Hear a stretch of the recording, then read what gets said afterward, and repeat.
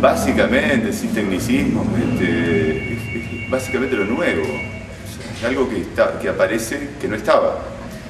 El, ejemplo que siempre se pone es que no es noticia que el avión salga y llegue y aterrice, sino que es noticia el avión que se caiga, porque se supone que el avión no debe caerse. Además de lo que implica la muerte toda esta historia que, vende un montón.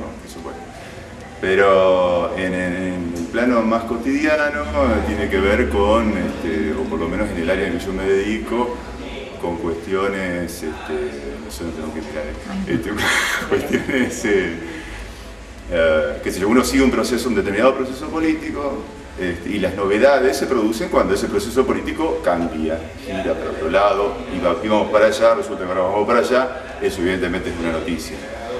Un dirigente político venía militando en el sector A, ahora está en el sector B, este, bueno, eso también es una noticia. Depende, por supuesto, de la estatura del dirigente, depende de un montón de factores que uno va viendo a lo largo de, los años.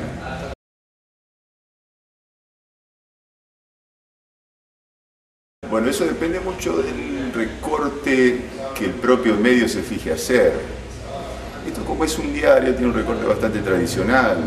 Eh, uno hay como una, una, visión tradicional de la noticia, digamos, de qué cosa, a ver, acá hay también una herencia, por eso digo tradición, hay una tradición, una cosa que viene de lejos, que se considera noticia, todo lo que tenga que ver con el ámbito público, en esta, particularmente en esta eh, capital de provincia, donde tenemos la, municipalidad y la casa de gobierno y la sede central del Poder Judicial, eh, es una ciudad básicamente administrativa, quizás vos vas a la costa del Uruguay y el recorte eh, informativo que se hace en cuanto a temas es bastante distinto quizás acá.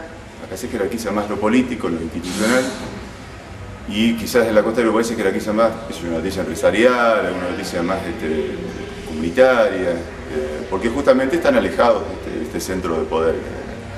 De cualquier manera, eso, ese criterio se ha ido modificando y se, va revisando permanentemente, eh, algunas veces por cuestiones de, inquietud profesional, netamente profesional, otras veces por cuestiones comerciales, este, pensando en este, qué noticia vende más, este, a, quién, a cuántos les interesa lo que ocurra o deje de ocurrir en, la Casa de Gobierno, por ejemplo, más allá de los propios habitantes de la Casa de Gobierno. Por ejemplo, ese es un, criterio.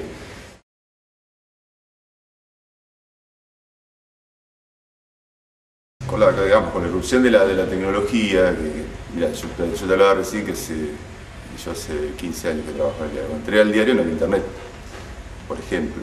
O sea, hay un cambio. Solo teníamos que buscar el Google, ¿no? El googlear era una cosa impensada para nosotros en esa época. Si vos tenías un archivo de papel grande como una, tamaño de una habitación en tu casa, eh, no podías hacer ninguna nota en base de archivo, no, no, es que ponías una palabrita. Bueno, eso por ejemplo la manera de trabajar, que no va lo que vos preguntaste. Eh, pero la aparición de las, nuevas tecnologías, que es la irrupción de, cantidad de, radio, de FM, eh, la aparición de más de un canal de televisión, eh, la, en los últimos años las páginas de internet, obliga a los medios de y sobre todo los medios de escritos que se imprimen en papel a hacer, dar un tratamiento de la noticia un poco más, eh, con más valor agregado, con menos urgencia.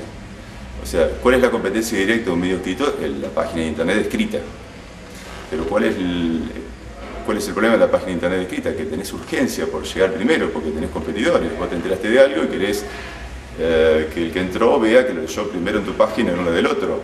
Y para eso no tenés mucho tiempo de, ¿viste? de cuidar el idioma, de buscar, de consultar más de dos fuentes, de cómo se recomienda, digamos, como mínimamente tener una buena nota. Una buena nota es, son tres fuentes, eh, es este, es buscarle un gancho para que el lector se entretenga, que no te abandone en el segundo párrafo, es pensar la nota, es, pensar la foto, es pensar la manera en que se vuelca la página. Todo eso es lo que hace que un diario de papel, eh, o que debería ser que un diario de papel sea eh, más atractivo de leer que una página de internet.